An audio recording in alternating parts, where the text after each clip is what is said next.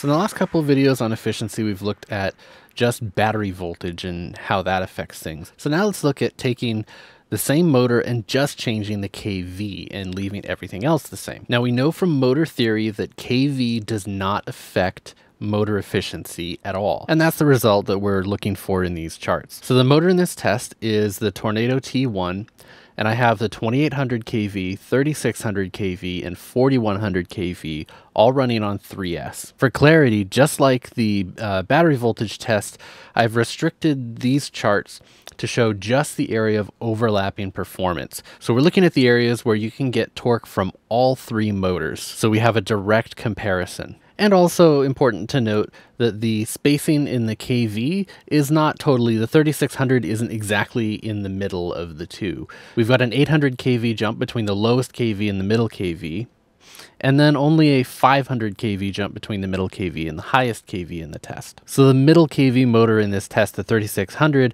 is closer to the 4100 kV motor uh, than it is to the uh, lowest kV motor. The chart we're looking at right here is for that middle KV motor. And if we compare it with the 4100, whoa, the efficiency dropped. That's not possible. Theory must be wrong. Numbers are a lie.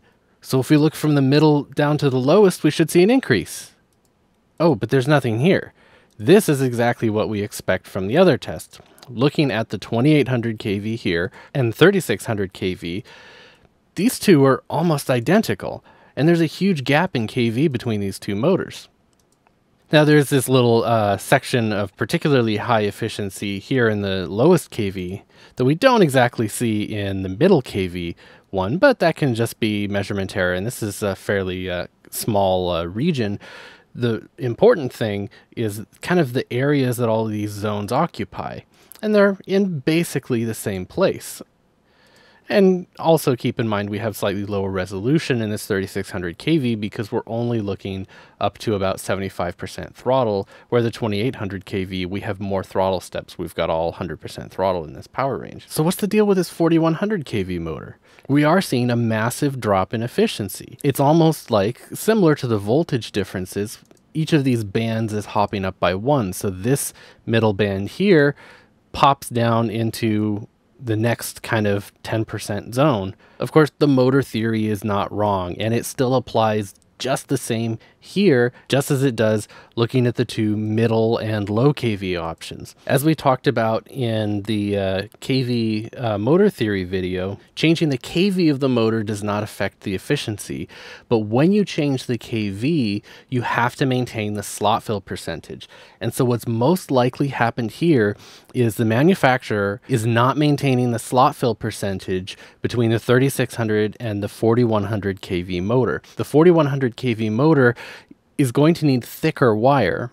So perhaps they're not using uh, proportionally thicker wire. They may be using thicker wire than is in the 3600, but if it's not all the way big enough, then we run into this problem where we lose efficiency due to the wire being too thin, not due to the KV being high. Or they could very well have just used the same gauge wire in the 3600 KV, and that might explain why we're seeing actually a fairly large efficiency drop compared to how relatively close, you know, only about 500 KV difference between the two motors. That's only a little over 10% uh, of the total kV of the motor itself. And there's no reason that this would be limited to only the high kV or highest kV uh, option in an offering. If a manufacturer isn't using exactly the right thickness of wire, uh, all of the KV options in a, in a lineup could have different efficiency from each other because the wire gauge is not proportional. And of course, there's very rarely just a single aspect uh, that like controls everything. You know, there are lots of different elements that go into motor construction, and if you don't get all of them right, uh, then you can have inconsistent performance in between a, a range of motors. So does it really matter if the efficiency loss in this motor is due to thin wires, or if we just assumed that it was inefficient because it had high kV? Well, it doesn't matter why this motor isn't efficient, the fact is it is inefficient. But the only way that we can know this is by testing it and looking at the real world results that the motor gives us or by being really critical about the parts that uh, go into it. You could tear the motor apart, try and measure the uh, thickness of the wire and the windings, and see if it's uh, the correct size. But even that is only a single factor in a fairly complex little piece of hardware. But if you make the assumption that the manufacturer's doing the correct thing and that there's nothing wrong with the build, you can count on that basic rule of thumb that it doesn't matter what KV motor you get, for the same amount of output power, all of them are equally efficient.